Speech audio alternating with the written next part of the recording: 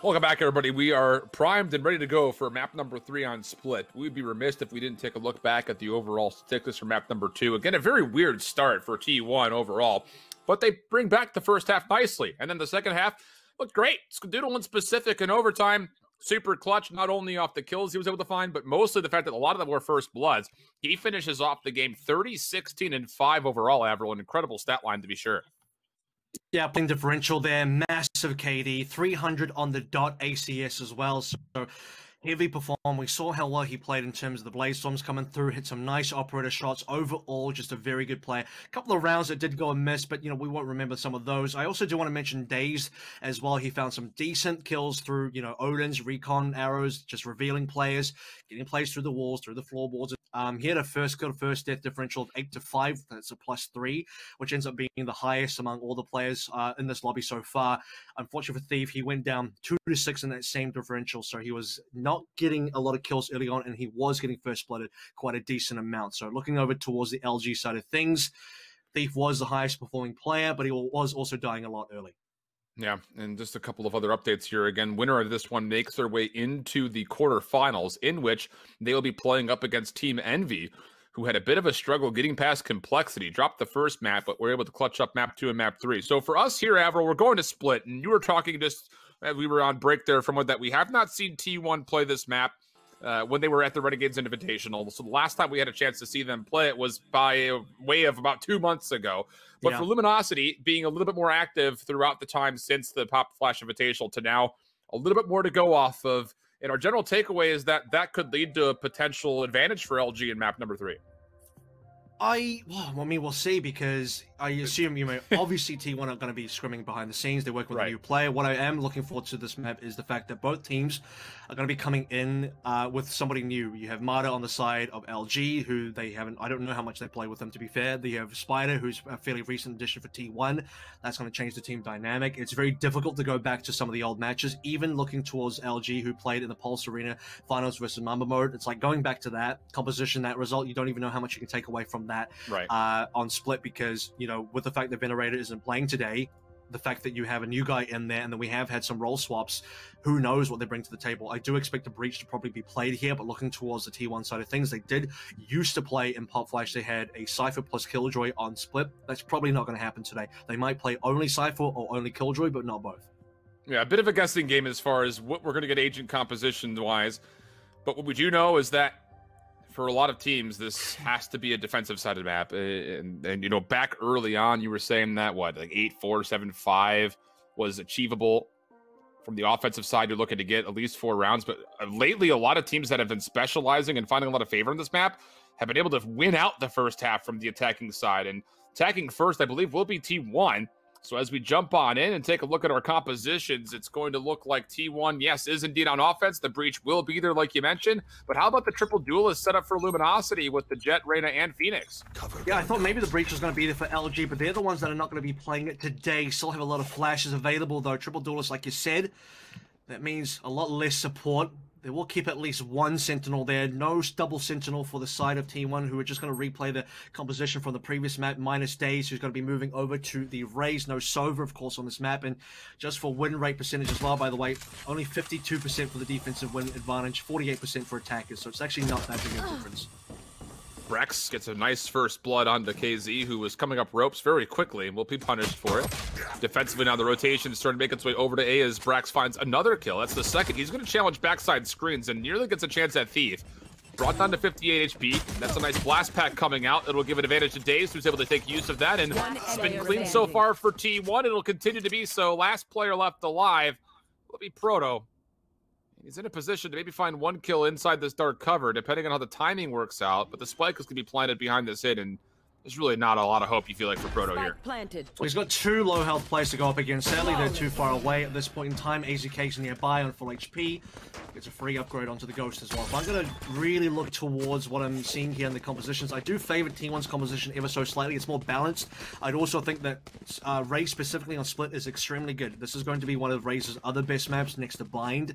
So if you're going to play a Raze, it all should come through here. And the fact that Luminosity decided to go triple doors but not include a Raze in there it's a bit of a question mark for me because you have enough flashes between your one Omen and then either the Reyna or the Phoenix, but playing both does mean that I think their offensive side for LG is going to be better, but the defensive side might suffer. And over the course of the first strike event so far, we have seen Phoenix on split only 9% of the time, kind of reiterating how rare it is to see the Phoenix be pulled out on this map. We'll see how it works for them. Defensively, you feel like they might be in a little bit of a softer spot, but offensively, a lot of extra tools to be used. So we'll see that maybe leads towards getting more aggressive on the defense. Could be the case, as at least for this round, LG will try to full stack over towards A and they might be blessed with some opening kills here. The shot's decent. Brax up the back away. Help coming from the bottom side of sewers. And LG will take their damage, take their orb, and back away. Although I hesitate for a moment because Thief wanted to go rogue for a moment and just solo Cheld. And Mata's still there for at least one trade back, but this is fine if you're T1. You've got control of the middle of the map. You know that at least three members for LG are outside of A, and you could wrap this spike freely to B if you so chose. T1 have no idea that Luminosity have actually four stacked over towards A. Well, technically it was a five stack when Thief was still alive, and T1 are going to be playing into this one out right now. It could be dangerous. Close range with pistols. There is opportunity for LG left. to get a sneaky kill in. Spike is on Spider's hands as well, but this Heaven battle is where it really counts KZ for one. Can't quite get the gun, can't quite get the next kill as well now. Proto by himself. Gets the first. The second one up top, he nearly had a chance at with the right click, but goes just a bit astray. So the first two rounds go successful for T1 on their offense. Like we mentioned, again, if you can find a way to start snowballing early offensively, you put yourself in a great spot to potentially close out the entire map. But let's not get ahead of ourselves here. We are going to get mostly full rifles, and yeah, there they are, full rifles purchased for LG. Behind the repurchases, T1 will bring three ARs in the mix with the double Spectres they held on to from the round previous.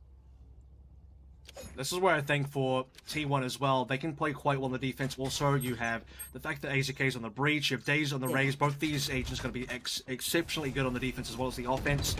Again, more of a balanced lineup. Luminosity looking for more on the offensive half, I would say, rather than the defense. They have to perhaps rely more on retakes with the flashes or just trying to hold these angles with the flashes as well, trying to challenge with the flashes. However, this is the round that they really need to try and win. They have three rifles to play up against, like you mentioned, on T1 side of things. Currently committed over towards mid. No action on A at all. Spider just hanging around B main for now. Spike will be left mid-map.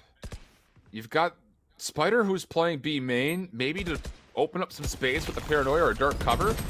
Thief will have to be shrugged off as the fault line comes through. Big 1v1 to open things up. Skadoodle will take that one. Again, the entry kills for Scott have been great lately. Now an opportunity for T1 to control B tower with the spike to potentially threaten onto the site itself, but you still have Proto in the mix with Mata on the site, and who's nearby? It's KZ as the Jett over towards the back stairs. KZ is locked out by smokes for now, though, just controlling the area to see if there's any opportunity to swing through.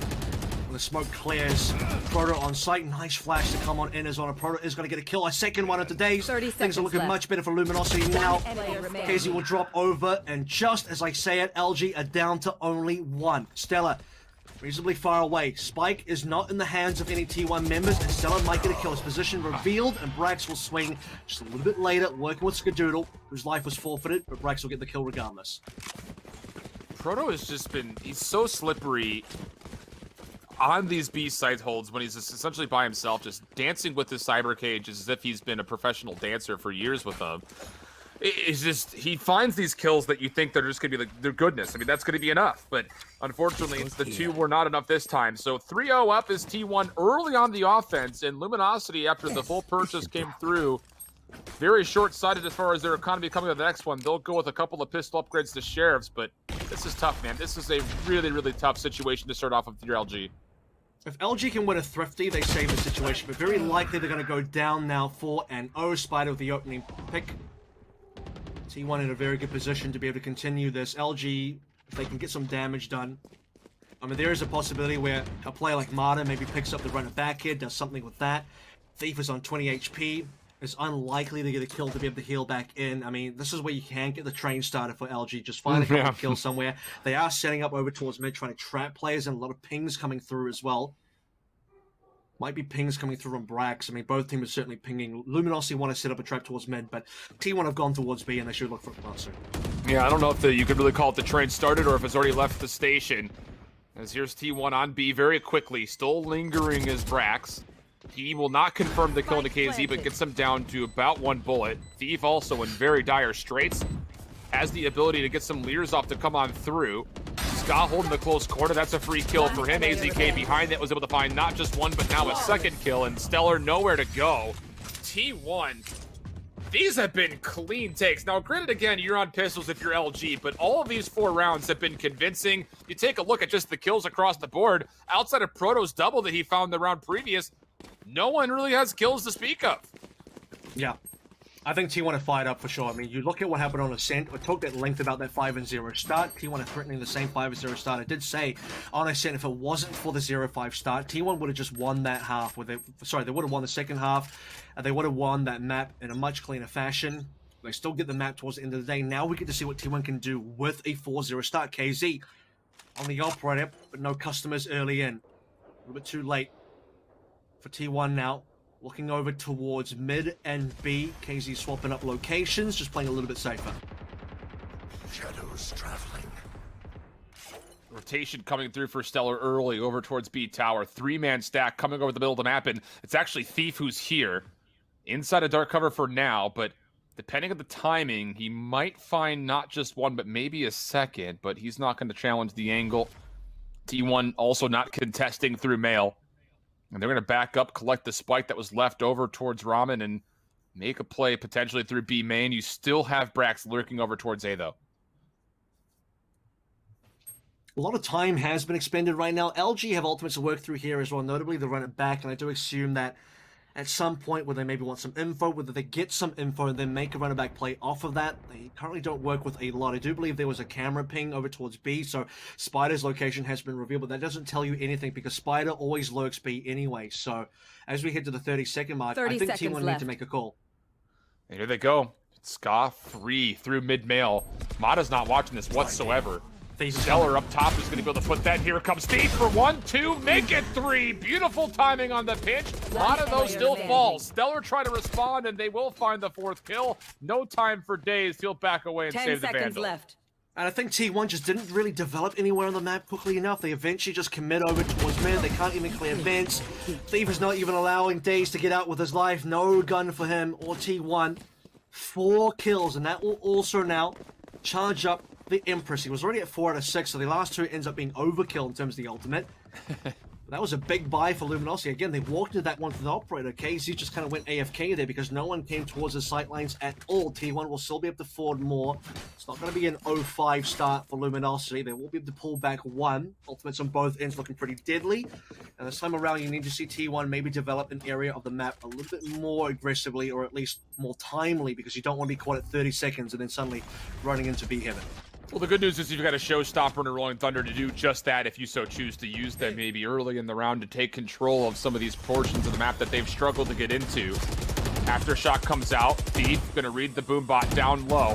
Knows there's at least two players, but can't respond and doesn't like that he's sitting up here. The paint shells will flush him out, but he'll stay healthy. Mata, curveball, wants a challenge again, but you got to be careful here for your LG. You need to hold on to this position, and here comes the showstopper through. Days will find one with it, and now the B tower take is coming. Mata's going to try to stall for as long as possible, while also healing up marginally off his Blaze Wall. The Blaze Wall doesn't really last too long, though, unfortunately which means B Heaven can still go the way of T1. Again, they can force this one in using the Rolling Thunder if they wish. There's only one player there, but it gives them 100% control that can't be contested. That's the big deal right now. KZ tried to look towards vents just to see if anyone was going to go in that direction, is now going to greet the rest of the defenders on his own team here maybe get advanced position. Doesn't want to be too far forward. Again, the Rolling Thunder might come through any second Big now. Pig. here it is. And the Rolling Thunder comes out and timing it's not going to be great to clear off the left. tower because KZ's backed away. Can he find a third? No, AZK shuts him down. Now over to the site we go. Stellar cleans up the tower. It's down to Mata and Proto on the site. Spider finds the first and gets the second. So now off the Stellar up top, he drops the spike carrier for the 1v1 from the shadows comes through, but you know the spike is down. You know that he's got to play for this, and though you should know Ten that. seconds left. Stellar He's going to make sure that nothing's coming from behind. Time, the big consideration. Five seconds. Spider has to lock this down, and now Stellar can play for the post plant. Planted. Going to bait the Shrouded Step teleport. Spider will dark cover himself. Stellar's already back on the site, though. And both players will back up to respective corners. No paranoia for Stellar. Has two dark covers if he wants to try to use them. One will be placed. Stellar should Spider holding the corner. Will get the peek and find the third kill. Big clutch from Spider. Stellar could have altered just to check Spider's location. I mean, you can either alt towards B main, alt towards the back of B into pit, and just see where he is, and you have that advantage available. Also, by the way, Stellar played that super defensively, very conservative in the positioning as well, allowed Spider to get a very easy plant. Not a lot of time was left. You have to consider that right towards the end there, at about seven seconds, Spider pretty much has to go for a full stack. There's no way he fakes it. And there is a moment there where Stellar can get advanced positioning. He doesn't have to directly swing on Spider, but he can get himself into a really good position to get the kill on the Spider regardless. But ends up being in a position where he allows the Spike to come and get planted and then can't do too much from there. Spider opens up with another kill for this round. So Spider really doing some work now. Yeah, and LG's not able to get anything going aggressively on their defense. That was a push through B main. Nothing pans out. B tower completely open. Proto and Mata on the site again. Can they hold stronger this time around? Proto already taking out a 10 HP. Trying to work their way in is going to be Thief. With, what could be with an operator? Yeah, it sure does. He finds the first kill. Proto can't convert into the Skadoodle. Stellar trying to flank. Timing. We'll actually get the kill into AZK. I thought for sure he would have had the kill for free, but Scott will plant and we'll get a 1v3 for Stellar. And this one's going to be much more difficult than the 1v1 versus Spider from a little bit earlier. Looking at money as well. Stellar with only 700 in the bank. Most of his teammates have even less than that. They can find KZ's operator, that would be good. He'll get one kill, 15 HP though. Again, the ultimate is available. I don't know how much he wants to commit. Thinks about it. One kill might just be enough. That uh, operator, by the way, that uh, KZ had, that's now in the hands of, I believe, Skadoodle. So T1 will be happy to pick that one up as well as the round. No, sorry, it's in the hands of Braxton. Braxton Yeah. might give it to Skadoodle, might also hold on to it. We know Brax snipes as well. Scott trying to exit. He will actually drop the operator for him. Actually, no, the operator will just be dropped. No one's going to pick this one up coming into the next round, so... Not atypical as far as the desire to have more AR pressure than sniper pressure offensively, but... overrated how on the attack, maybe. Yeah, and- as you're in into 6-1 tally, T1, you just don't change anything. If it ain't broke, don't fix it right now, especially considering that LG's going to have to go into a save round. Save round with one hero rifle here for Stellar. Five ultimates as well, so that's actually quite doable. If they can find advantages, get opening picks. We've seen what teams can do on hero rifles before, and it's going to be hero rifle plus the fact that you have a few sheriffs in there, plus some armor to play with as well, plus then all the ultimates. And it's a hero rifle, but not on the Empress available Reyna. Don't get me started. I was trying to. KZ, though, of course, Blade Storm. Oh boy, nice little jump peek there on the days. That'll do well for first blood. The hit looking to go for the one of the first times so far this offensive side towards A. Round two was set this direction. This one looking to be pretty primed to go that way as well. Skadoodle already into the site. Stellar, though, able to find one pick. That's over towards A ramp. So now big numbers for LG. What would be a thrifty round? Well, maybe not because the rifle was purchased, but the patience pays off. KZ jumping over the top. Can't lock down the final shots on the Scott. This would be a 1v4 for him. Not going to commit for the plant. Now finally we'll stick, but I just don't know how you clutch this one up to this position. They should run it back just to be safe here. They have that available. There's no point holding on to extra ultimates, but you know what? Thief will just get that kill. Skadoodle it's not going to be able to 1v3 clutch here. Made it really interesting to get that kill to KZ, you have to credit KZ to be the one to open things up here. KZ got a number of early kills via Blade Storm. Now, guns in the hands of the other players. Stellar was the only one that purchased into, well, I say purchased, he saved up the rifle from the previous round into this one. So no one had actually purchased into the round. So it doesn't quite count as a thrifty, but you count it as an eco win regardless. And three free guns walking into the next round is a feels good for Luminosity, who at this point in time needs some feels good moments because they are still down four rounds. Big bounce back round, though, for LG to try to turn this half around. And like you mentioned, prisoners. the run it back still available. The Empress still available. On the opposite side for T1, all you have is a neural theft for now. You're dead. Run it back will be used aggressively. Curveball going to free him up to make a move through the middle of the map, but this is just really bold and pretty predictable if I'm being candid here. T1 will just back away. It's a lot of information, a lot of space cleared, and at least the good news for LG is that you use that right back to take away the middle map convincingly. Thief and KZ are pushed forward, but that leaves not enough numbers on the site itself. Mana does well to find one. Skadoodle able to take him down no problem, and that's going to be a full clear of the B site. Haven't quite gotten the guns yet. Big read. Thief will take down Brax. That's, a, like I said, excellent read in terms of getting down the Lurker. Keeping numbers competitive here.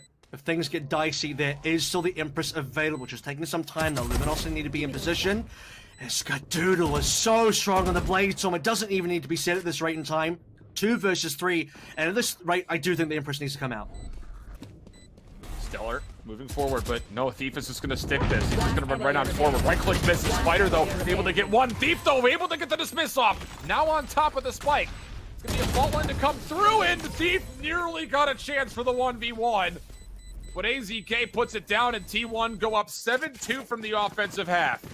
And I don't believe that AZK actually had a Rolling Thunder to start with. He was 5 out of 7. I think he only maybe got the two kills that enables the Rolling Thunder right on the last kill on the Thief. So there wasn't even a situation where, look, if Thief goes for the defuse, the Rolling Thunder comes on through. You have to start looking at those situations now. Again, when we get to very critical numbers, low numbers as well, you have to look for what possible advantages you have to try and win that. And yeah, that's when the ultimates need to come on through. And I think players are maybe just forgetting about that for now. It is going to be Marshall for KZ, not the ideal weapon, but a single headshot could be very good. Might be hard to find though. Tagged up, 13 HP, not a good start for KZ. And he doesn't connect with his shot either, so T1 will be gifted the middle of the map. You still have Brax lurking over towards A. He's actually used a lot of his utility just to move up towards Rams. He's looking for a kill. And if he could actually push forward and maybe get this confirmation into KZ, that's a lot of the map in possession for T1. How about this, though? LG going to switch things up. A late push through B main with a triple stack. But T1 is already geared up, looking to execute over to A. Problem is, KZ's about to just give up Heaven. There's no way he can hold it with 13 HP No and a chance. Marshall. So Heaven's basically gone. He knows it as well, so he's backed up quite a lot. That's the Rolling Thunder. At least it will miss everybody, but they will confirm information now from the Shadows onto the site. KZ down to Days. I know The Shadows did get cancelled. Oh, and Stellar has done well to find another elimination. Paranoia comes through. If you can find Scott, that'd be incredible, but not going to be able to grab that. So now a brilliant opportunity for T1. 4v3. Scott has information on where Proto's positioned. Fault line will just barely not connect with him, but they gain control of the backside screens. And now for LG, your retake is all hinging on success from the front. Thief on the way in still has the Empress by the way. Mata still here with him. Curveball will free them forward. A couple of shots will tag, but Mata, nice snap for the first, can't get AZK. Neural theft for Proto in the 1v2. Just underneath 150 HP. Gets information on one player up top. That'll shrug them back. Tries to chase for the kill, but can't confirm. So now Proto through the elbow. Able to find the last bullet needed. But time becoming a problem, and for AZK, he's going to rewrap over. Proto gets the kill, but he doesn't have enough time. T1 will win the round and go up 8 to 2. AZK got baited there. He swings around on the first tap when the time was going to run out. There's no way a Proto can actually go for the full defuse there if he starts to try for it. I mean, it's just not going to happen. I'm very surprised about that situation. Anyway, though, it doesn't matter. T1 win the round. AZK will just die. I guess that's the only consequence. He's just trying to secure it. Can't blame him too hard. It's just, you know, the min-maxing here would have said that potentially uh, it could have gone the other way. I think they both die anyway with the spike, so it ends up not being a huge deal. 8 to 2 though. Showstopper available. Two Spectres, three rifles, five pistols for Luminosity, and a Dream to try and hold on to the last two rounds of this half. Thief mid map, hoping for something blessed. Not gonna find. Oh, actually, he does find one. Skadoodle though with the instant trade. So 4v4 we go. No chance to pick up the weapon. T1 aggressing onto B tower. Just underneath is Mata. Trying to play right around the vent, or the ropes rather. He's actually going to go up with these cloud bursts to free him into a position to maybe catch one off guard. Nope, never mind. AZK was very privy to that information. And so T1 will be up now 4v3. Make it 4v2. Not expecting much from the pistols this round. Luminosity will be very much aiming for a 3-9 finish on the opening half. Again, not great for the defense. Defense is favored 52% to 48. It's not a massive difference, but I mean, it's it's not 3 and 9 either, so. Stellar, no kills there. T1 will be able to just clean this one up, go for the plant. I say clean it up, but Proto will have a nice one. You'll credit him for that one, but won't get too much more done after that. Brax with a challenge. Able to collect himself up a Last sheriff. And like you mentioned, half. last round for the half here. And KZ will actually invest into the operator this time around. Full ARs to support him. T1 obviously able to match up with full ARs of their own. Ultimate wise, they're looking at the showstopper and the potential of a Bladestorm for Ska. Meanwhile, Thief is still holding onto the Empress, and Stellar on the other side has the From the Shadows as well to use. Ska at any point pulling up the Blade Storm is going to be forced to be reckoned with. So 14-6 so far. He what got 30 to 16 on the last Yeah. map. It could go way over time though. There it is. Instantly Ska's going to pop that one through. Isn't going to waste any time. KZ, no early customers. Oh my goodness, Ska actually misses. We'll get traded by Days though. Keep things 4 and 4. Ah, the curveball peak from Mata, a bit over ambitious. Dazed will punish. 4v3 now for T1. Nice shot from KZ as he instantly is able to tailwind away. Stellar now over towards male stairs. If he pushes into this start cover, it might be an opportunity. And yeah, AZK just essentially face checked it and will lose his face because of it. So now 3v2 the opposite way for LG. Shadows traveling. We'll see if this is winnable for T1. 2 versus 3. Spider doesn't quite have ult available. So is a Flash, so that's going to be important. Needs to instantly link up with Brax. Brax is fairly advanced towards A ramps right now. KZ is going to be there with an operator. So there's a potential where one of them do get picked off. KZ's kind of fallen off that angle. Might be able to get a timing on screens. Oh, this could be really dangerous. Gets the shot in, but does not connect. Even takes a bit of damage in return. But they do know now that T1 are moving towards A. 30 seconds Without left. clearing over the A tower, T1 are going to have to use both dark covers just to get onto site. Brax will be the first one forward. KZ hoping for a spam shot, not going to connect either. 20 seconds remain. Spike can be planted closer towards the elbow. Brax is going to try to position himself to watch the potential push through screens. Paranoia is still available. But nothing for Brax to set up for the post plant. LG could maybe think about using from the shadows here to check information. It's a scouting tool at worst here.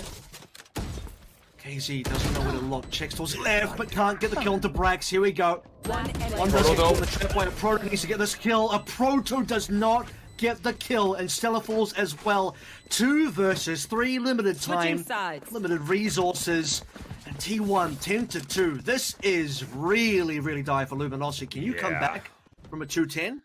I'm not sure, but we'll take a look back at least here as GoPuff recent replay from the first half comes out. Ska in this moment, again, critical as far as being able to take this B site so many different times.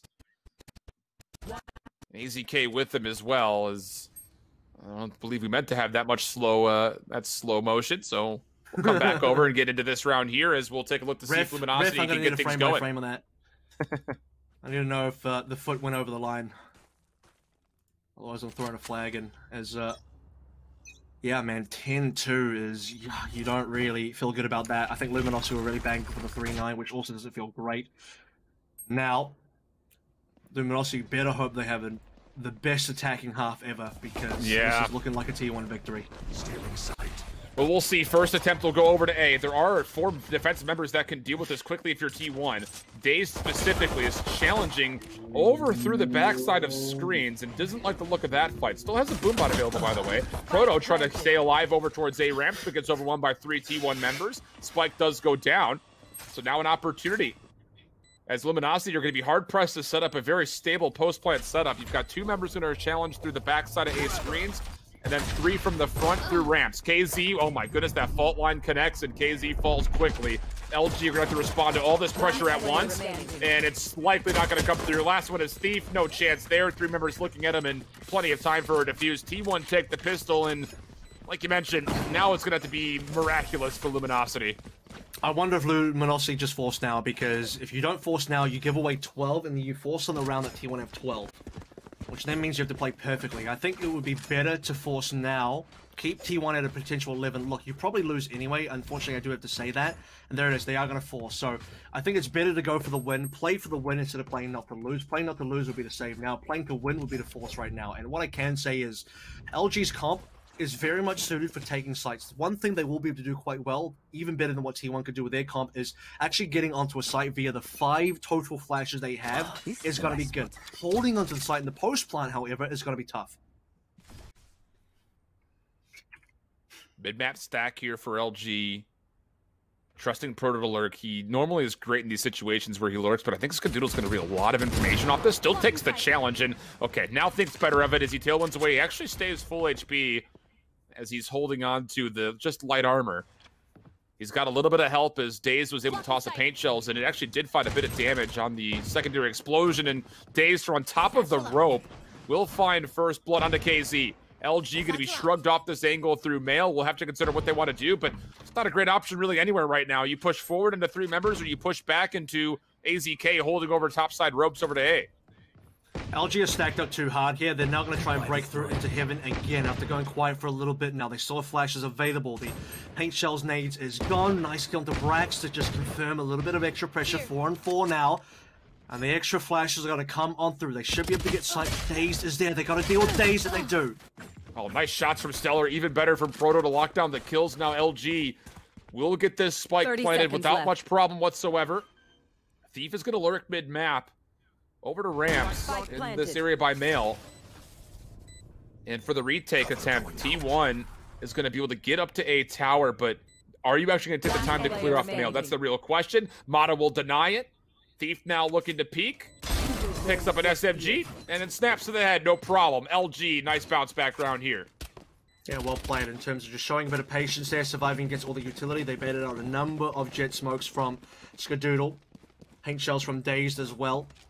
Just surviving against the early util, getting a couple of trades in there, making sure they stay competitive in terms of kills.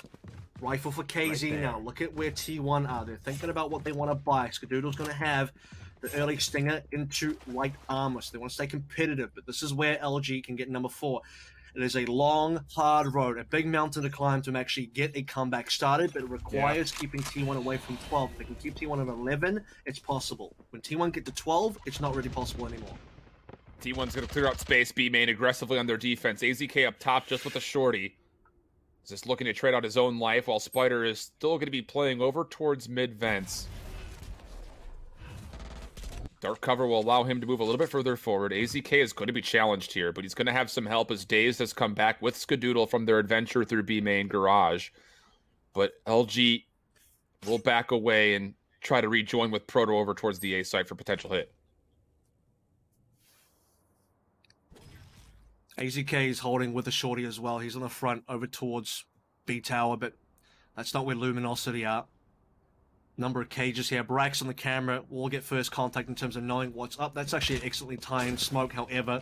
We'll get beaten. The cages come through. Brax needs to start spamming. Gets Oh. through the spam as well. That's pretty decent. And he stays alive. Look at all the help that's coming forward. Now AZK with the shorty up top is in a position where he can drop down, find one for free, and get a second Wonderful. doodle there for the assist. Able to swap that out for an SMG, but everybody's trying to back away. 30 KZ will find left. one in return, but this is a 2v5 situation with only 25 seconds to play, made easier by making it 2v4.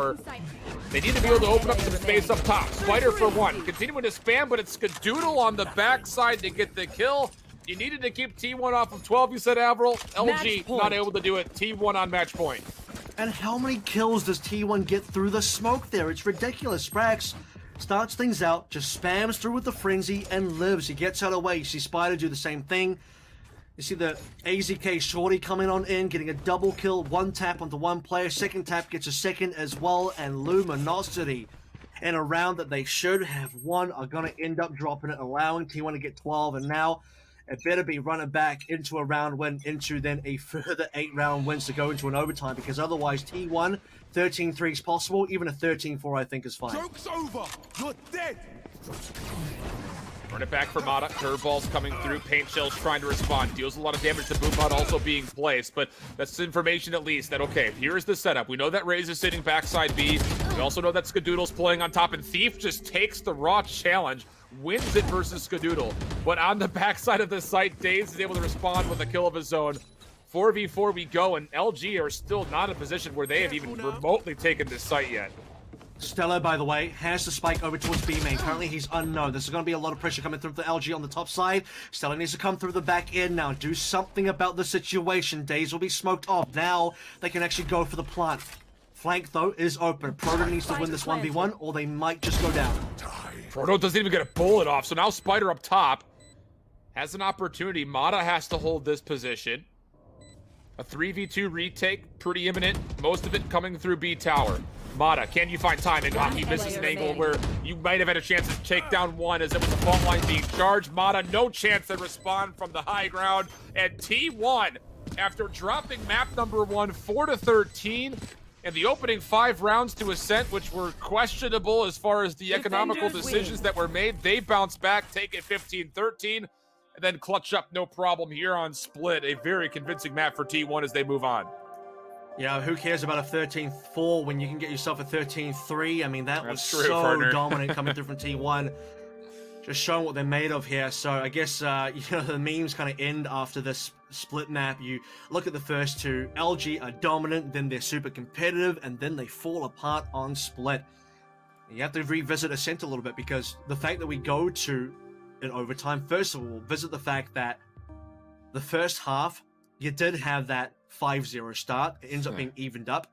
And then you go into the again, the, the halves end up being five seven. So I mean, they are as close as you can get to six and six without actually being six and six. And then you have the case where we go to overtime, and in overtime, you have to say at that point anyone can win. But T1 were edging thing, things out. T1 has started firing up, and we get to split. And of course, they are well and truly fired up. Well, if you in case you missed those first handful of maps, we'll take a look back as the instant replay provided by GoPuff will come across your screens here. And again, this bind was all LG. And all LG early, mind you. Their offensive half saw success on the spike plant in almost every single round, with the exception of only two that I could count.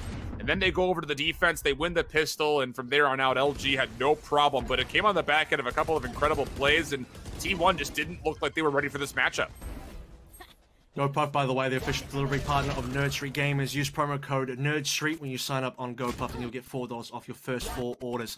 GoPuff ordered in seconds, delivered in minutes, and plenty of minutes being played on this particular half as well. This round, this entire map, 15-13, Skadoodle played super well. Headshot connections, 4K clutches, and that is when actually T1 started to make their comeback happen on this particular map as yeah. well. I mean, they were 0-5 down, they get a one round, converts onto two rounds in a row, and suddenly things look much better. Over in the next six rounds, it starts 5-0 for Luminosity, and then in the next six rounds, it goes 5-1 before LG pick up the final round on number 12 to make sure they can confirm a 7-5 lead. But uh, to go from 5-0 to only 7-5 doesn't feel good. So I think the biggest questions to me don't take place on either bind or split, where one team was just heavily favored. It actually comes down to the close map of Ascent, where, you know, the little details matter. The small mm. uh, different changes here where either team could have adjusted slightly and we would, we would have had a potentially different outcome.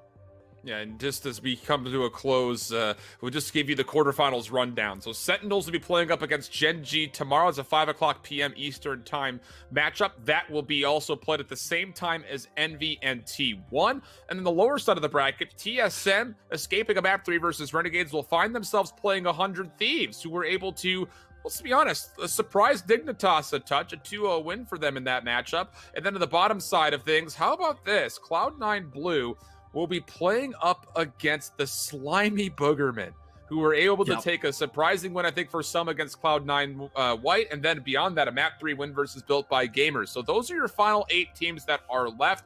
With that in mind, there will be the mainstream broadcast coverage along with a secondary stream. So for all the guys that were out there that were running their own community streams, very well done to all of you guys. I hope that you all enjoyed the community casters coming through and bringing extra broadcast coverage throughout our first two days of coverage. But that's what's geared up for us going into tomorrow. Uh, any particular matchups that you're looking forward to in specific, Avril, yeah. before we sign I'm, off? I'm glad you asked because I wanted to bring this one up. This is actually quite important for me. Uh, you have T1 versus Envy. Why is that important? It's going to be T1 versus Food and Trashies. That's why. Tune into that. It's going to be a fun one. Again, a lot of storylines still to be written, but the big one coming off of the day is the fact that if you finish top 16, you are into the group stage portion of the closed qualifier that will be coming up November 4th to the 8th course, that's Kevin Avril Walker. I've been Alan I hold shift down of Frio. A big shout out to all of you guys who tuned in throughout the day, especially if again you're watching multiple streams. Make sure you're back tomorrow, same time, same place, as we look to wrap up the round of eight and get ready to go for semifinals and then grands the days following that. But for now, we hope that all of you guys out there keep holding it down. So long.